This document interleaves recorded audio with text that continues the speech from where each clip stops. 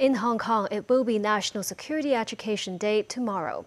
The Committee for Safeguarding National Security will hold an opening ceremony with a senior Beijing official on Hong Kong affairs invited to deliver a keynote speech via video link. The National Security Education Day enters its ninth year. The Committee for Safeguarding National Security will hold a ceremony at the Hong Kong Convention and Exhibition Center in Wan Chai.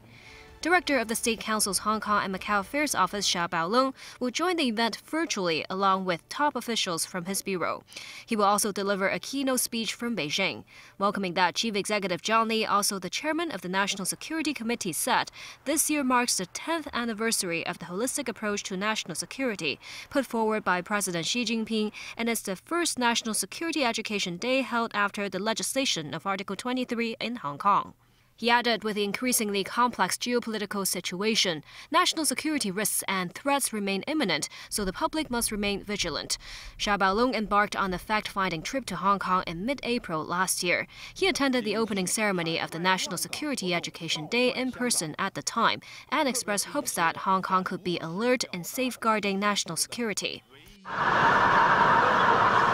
Marking the occasion, the Fire and Ambulance Services Academy in Pak Shing Kok held an open day. Apart from demonstrations of rescue efforts in various scenarios, there were game booths for visitors to understand more about their work.